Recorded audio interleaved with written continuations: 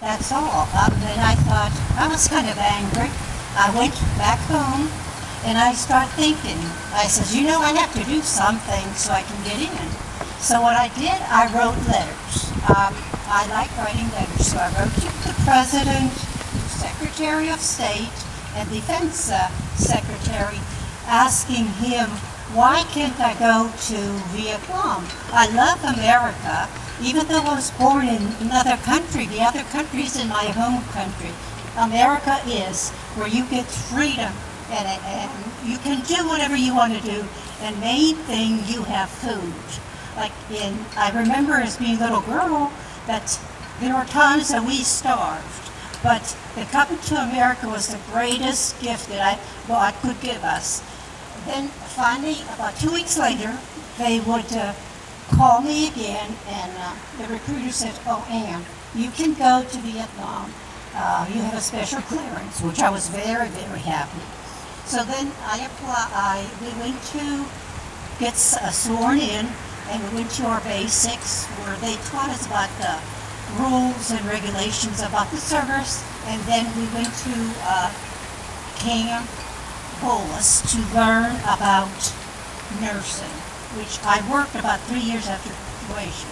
But in this nursing, you had to do things that you cannot do in civilian life. What I had to do, we had to learn about debridement, which you take care of the wounds, suturing, intubating, and doing things that we never did before, but the military taught us to do all that. Then after we finished that, I had a duty station for two months and I got orders for uh, Vietnam. I went to, we flew from, uh, from uh, Philly down to San Francisco uh, and Hawaii, then to Vietnam. You cannot understand unless you've been through it, coming down the pl uh, plane, coming down, the smell that hits you. It was the most nauseating and the humid air was unbelievable. When uh, we got there, went to the 90th Replacement Center where we got our assignment. After getting our assignment, uh, in two days we flew to our uh, hospital. I was stationed in Nha Trang at 8th Field for six months. And the hospital took had more of patients recuperating, where gunshot wounds of the legs, arms, abdomen, and they were on their way to recovery. Some of them who uh, got better within 30 days, they would be going back to their unit, while the other ones were either shipped to Japan or Hawaii. So it wasn't that stressful at all because I never, the hospital was all uh, brick hospital. It was in the law, it was very large. So you never got to go to ER or anything where you uh, would help because we would get like one or two critical patients that got shot, gunshot wounds.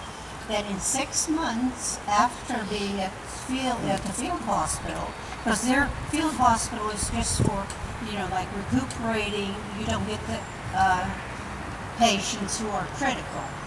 Then in Tuy Hoa, and it was Tet Offensive, we worked.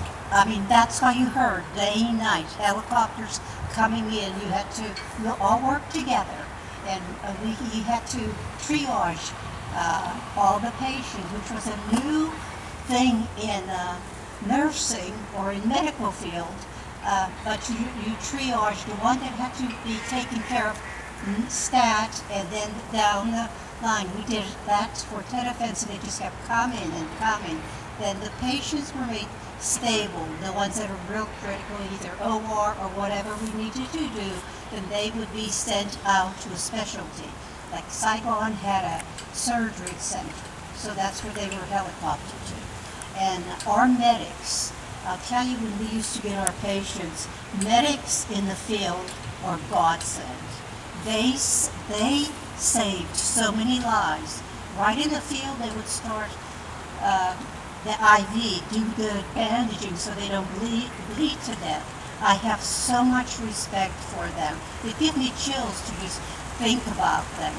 But after I spent about six months in uh, Tuy Hoa, 91st Evac, when it was time for me to go home, you know, I thought, I can't go home.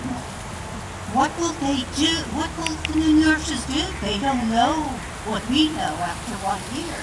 And I'll tell you, the Army would not let you read enlist while you were overseas. You had to come home. That was the sad, it was happy that I was leaving to see my family, but it was sad because I thought, how would they manage without me? You know, you give yourself, you know, because you feel like you know what you're doing, and that that was hard. But finally, we left to, for the world. Then, uh, as we came into San Francisco, we were checked in. The first thing they told us is, "You can wear your uniform." And that was the sad thing when, when we're told you have to put your civilian clothes on because of all the problems. I thought, well, gee, we didn't keep up with the news, what was going on. But uh, so we had to change. But I'm from a little town in Pennsylvania, Midland. They were the greatest people there, I'll tell you. They accepted me, no, no protesting, nothing. It was all, little towns always kind of stuck together and cared for their uh, citizens. My, uh, uh, I always think of all my brothers who suffered, and I'll tell you, I went to the opening of the wall with my husband who had PTSD and passed away with suicide.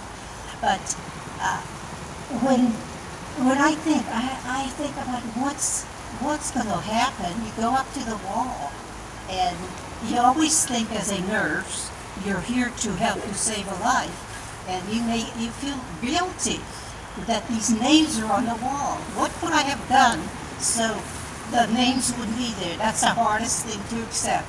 And finally, about four years ago, I was able to go to the wall with the help of my uh, brothers and I realized that I can't save everybody. There's times when, you know, you can't.